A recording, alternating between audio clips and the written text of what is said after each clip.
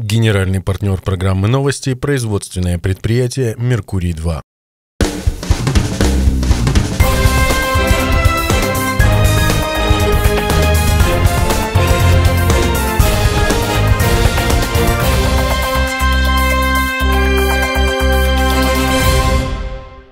В эфире новости Анапа регион, в студии Ирина Меркурьева. Здравствуйте. Итак, смотрите сегодня в выпуске. Пусть делают обходы, смотрят, где мусор, где жут. В Анапе введен особый противопожарный режим. О том, как не допустить чрезвычайные ситуации на территории муниципалитета, говорили на планерном совещании в администрации города.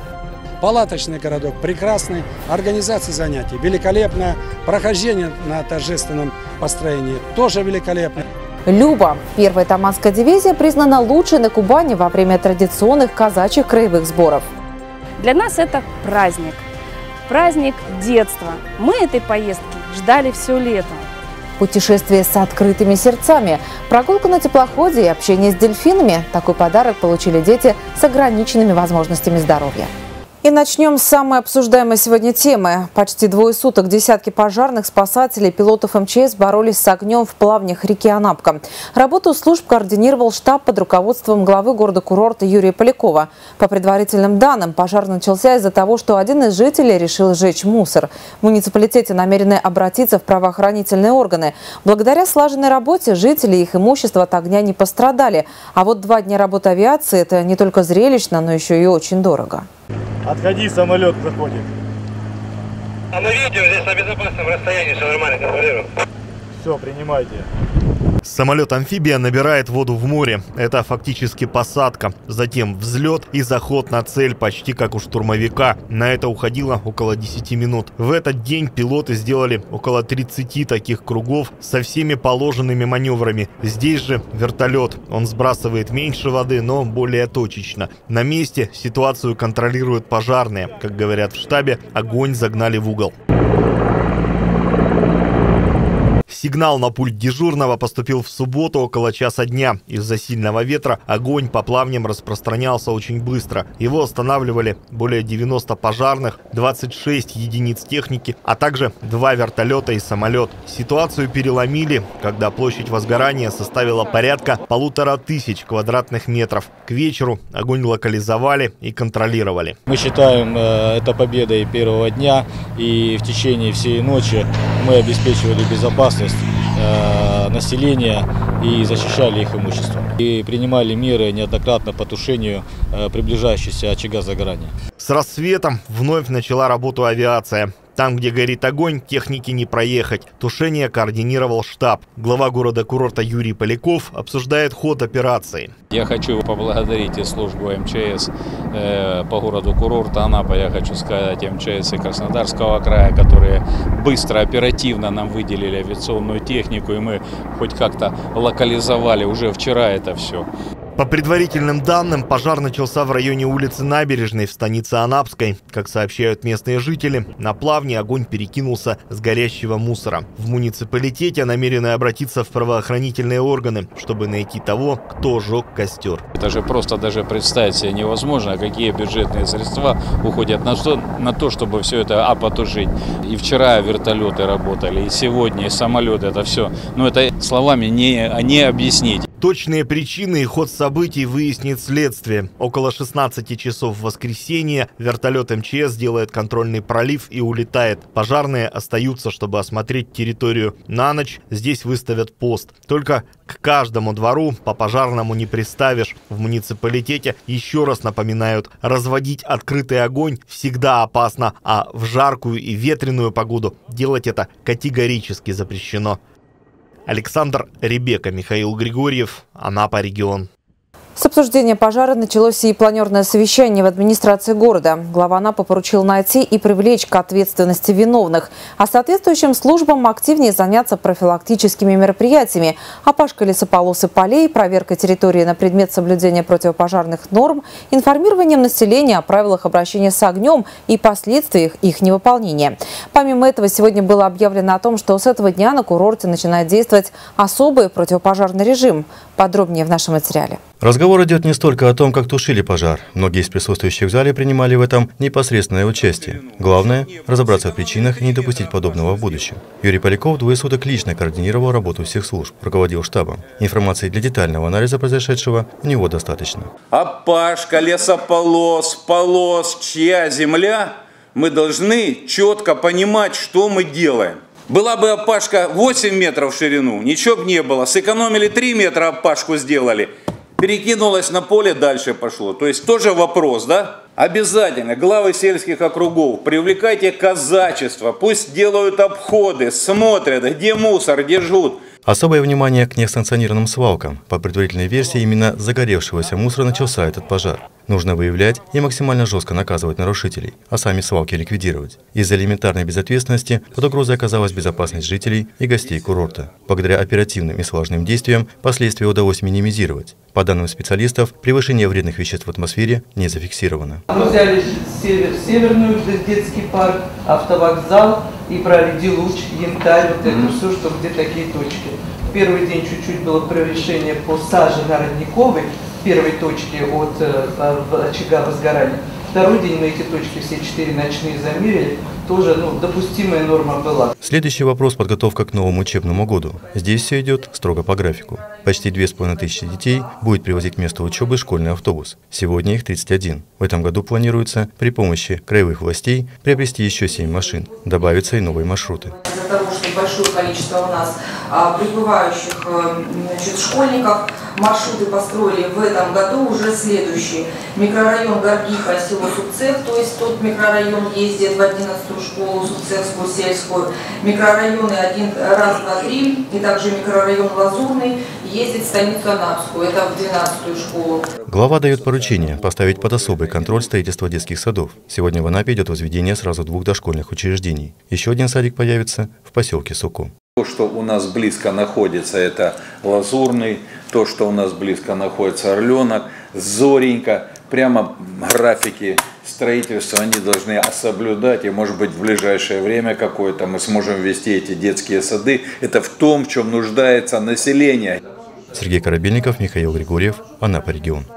Глава курорта поручил прокладывать вместо так называемых народных труб, которые протаптывают жители и гости, срезая путь, капитальные тротуары. Он осмотрел одну из таких дорожек в сквере имени Гудовича. Юрий Поляков провел обход курортной части Анапы. Хорошо и быстро выполнили поручение.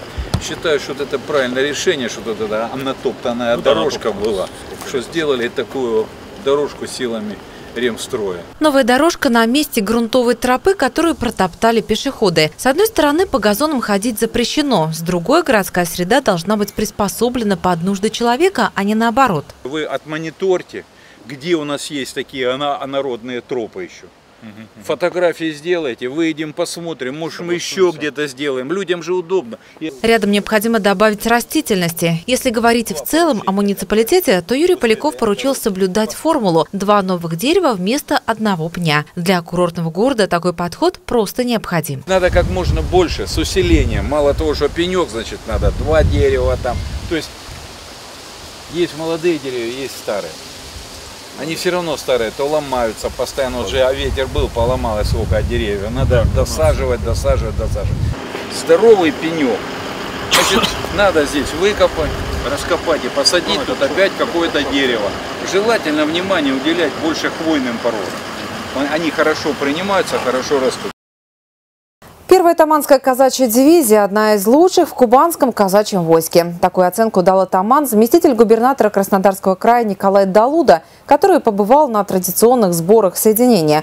Он отметил заслугу атаманов, а также вклад муниципалитетов. Глава города-курорта Юрий Поляков осмотрел расположение Анапского полка. Венки и цветы возлагают к монументу на братской могиле морских пехотинцев, которые погибли при обороне Абинского района во время Великой Отечественной войны. То, что рядом есть такой символ, важно. Кроме того, здесь историческое место сбора казаков. Анапчане проходят торжественным маршем перед трибуной. Парад принимает войсковой атаман Николай Далуда. Среди почетных гостей глава города-курорта Юрий Поляков. После торжественной части осмотр расположения. Вот это запоминай все, фотографируй. Вот. Гости – представители еще двух соединений кубанского казачьего войска. Им показывают штаб как образцово-показательный, медицинскую палатку должного размера, пожарный щит. То, что здесь я вижу, лучше нигде организация военно-полевого сбора нет. Чуть-чуть может быть хуже. Это Черноморский округ. То есть они примерно одинаковые. Почему? Потому что вы здесь помогаете очень здорово. Вот именно главы, вы помогаете. Спасибо вам огромное за это понимание, за то, что даже сегодня, в этот одной день, вы приехали, чтобы принять участие в этом торжественном открытии. Самое главное, по словам Николая Далуды, все, что находится в расположении, собственность дивизии, палатки анапчан можно определить сразу. Здесь все продумано со свойственной казакам смекалкой. Палаточный городок прекрасный, организация занятий великолепная, прохождение на торжественном построении тоже великолепно. У нас есть боевая подготовка и воспитательная работа. В этом плане господин Плотников действительно лидер, я считаю.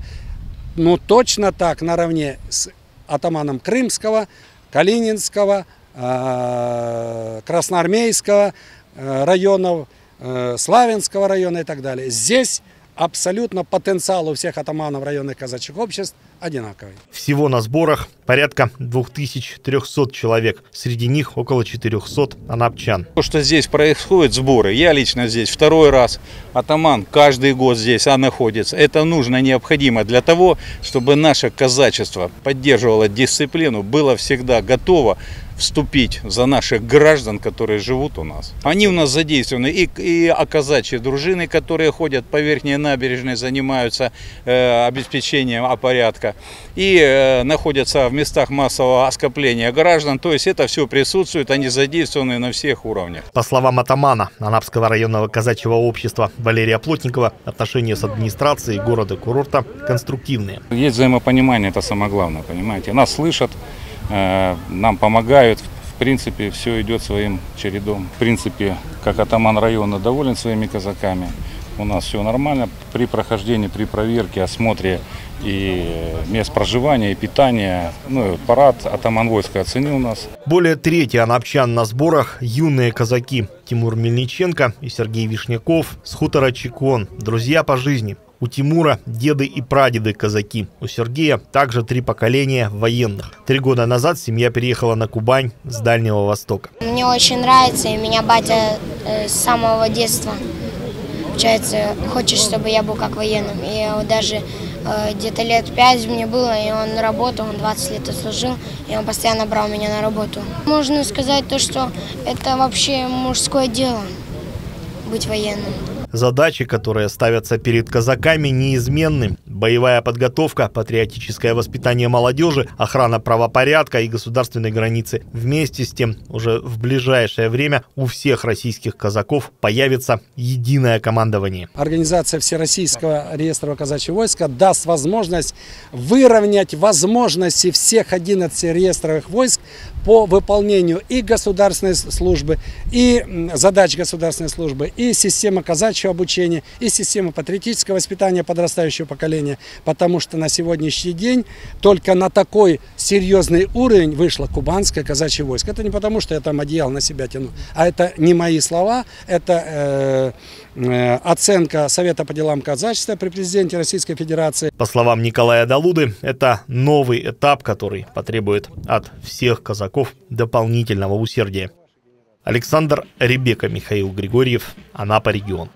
Юные участники клуба «Открытые сердца» отправились на Большую Триж. По инициативе Анапского отделения молодой гвардии «Единой России» при поддержке администрации города-курорта дети с ограниченными возможностями здоровья смогли прокатиться на теплоходе «Гаргипия» и увидели шоу с участием дельфинов.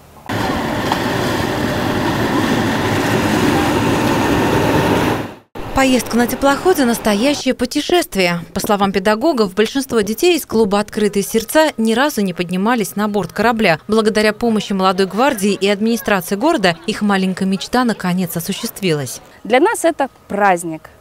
Праздник детства. Мы этой поездки ждали все лето.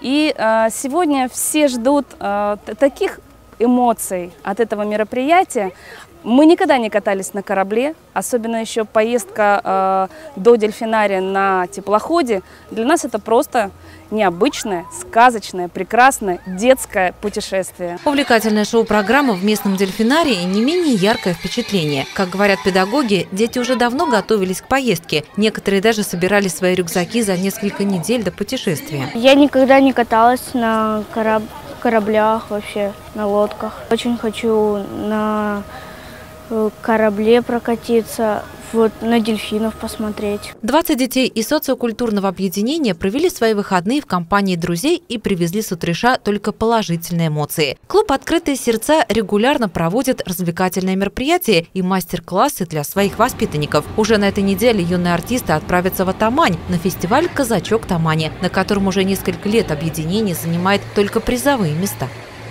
Ирина Меркурьева, Ксения Степко, Роман Беркалиев, Анапа регион. Далее информация о партнерах программы. Производственное предприятие «Меркурий-2» успешно ведет строительство многоквартирного комплекса «Кавказ». Строительная компания приглашает приобрести надежную недвижимость по разумным ценам. Еще один наш партнер, тренажерный клуб «Витязь», предлагает привести в порядок фигуру по специальным сниженным ценам. Не упустите возможность. Все выпуски новостей вы всегда можете найти на нашем сайте anapregion.ru. Я с вами прощаюсь. До встречи. Доступные квартиры в комплексе «Кавказ» от надежного застройщика «Меркурий-2» в курортном районе Анапы. Детские и спортивные площадки, автопарковка, квартиры с видом на море, рассрочка оплаты. Первая и вторая очередь уже сданы в эксплуатацию. Звоните 48 300.